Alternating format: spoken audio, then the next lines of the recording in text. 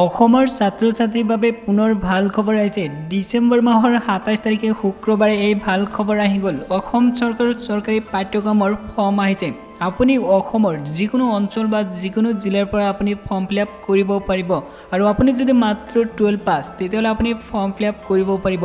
আৰু আপোনাৰ যদি caste general O' B C M O' B C S C S T হয় তেতিয়াহ'লে আপুনি ফৰ্ম ফিল আপ কৰিব পাৰিব।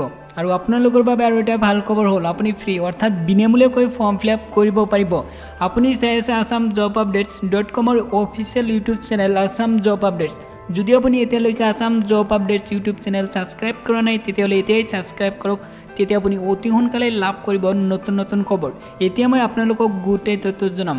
ইয়াতে চাই লওক নেম অফ কোৰ্ছ কোৰ্ছৰ নাম হ'ল ফিচাৰী ডেমনষ্ট্ৰেটৰ ট্ৰেইনিং কোৰ্ছ হয়। ইয়াত কোৰ্ছৰ সময়সীমা হ'ব বাৰ মাহ।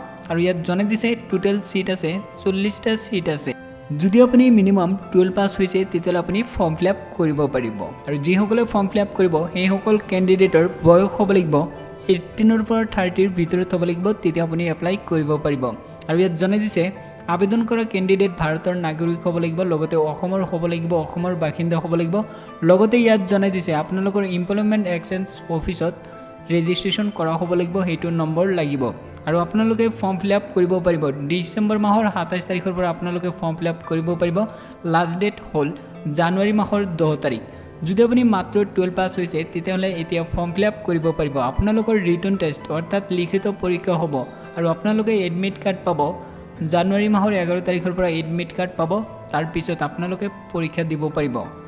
আপোনালোকৰ ছিলেকশ্যন প্ৰচেছ ইয়াত জনাই দিছে মেৰিট লিষ্ট দিব।